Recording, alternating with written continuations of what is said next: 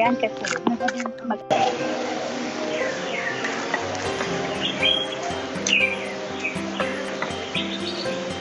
Kawawa naman.